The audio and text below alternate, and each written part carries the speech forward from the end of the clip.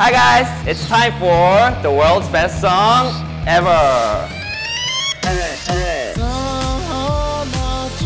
SSamhanajuoh by international pop star Greg.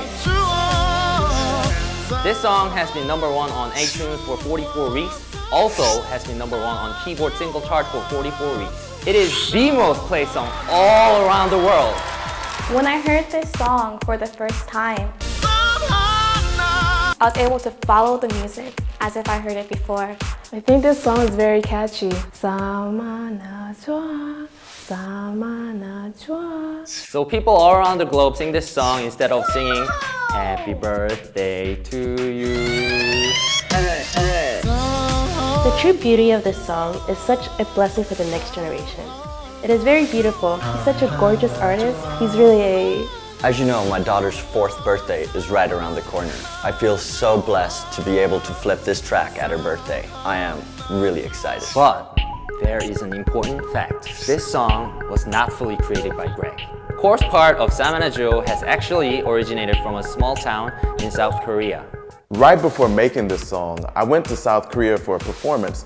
And during the trip, I visited a country town where I encountered a really astonishing experience. 이 마을은 아이가 귀해지면서 아이가 4살이 되던 해에 그 아이의 건강을 기원한다는 의미로 다 같이 잔치를 벌였어요. 이때 다 같이 쌈을 싸서 이렇게 외친답니다. 쌈 하나 줘. I still can't forget that moment of shouting. Every single person in the town kind of gathered around, creating the shape of a thumb with their hands. They were chanting and, and keep shouting over and over, Samanacho, Samanacho, Samanacho. And it looked like they're holding kind of a microphone in their hands. So at that moment, I decided to make this into a song. With its catchy melody, SSamhanajuoh is setting an exceptional trend in this world. Well, there's no end to Greg's ability of impressing the fans.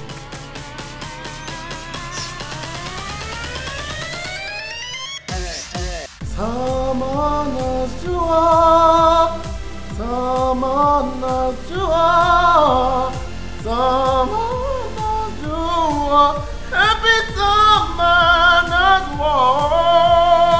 Wait, you know why this song is more special today? Because today is the fourth anniversary of Summoners War. 9천만 누적 다운로드 찬성!